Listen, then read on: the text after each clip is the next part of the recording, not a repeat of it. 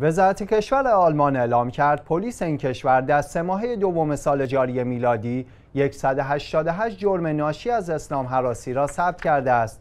به گزارش خبرگزاری های معتبر آخرین آمار منتشر شده توسط این وزارتخانه نشان می‌دهد حداقل 15 مسجد بین ماه‌های آوریل تا ژوئن 2020 مورد حمله قرار گرفتند و دهها مسلمان نیز در خیابانها یا در اماکن عمومی مورد آزار اذیت فیزیکی یا آزار کلامی قرار می گرفتند.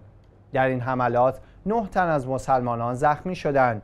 این وزارتخانه تایید کرد در حالی که تحقیقات جنایی علیه چندین مزنون آغاز شده بود تا کنون هیچ اقدامی جهت دستگیری انجام نشده است.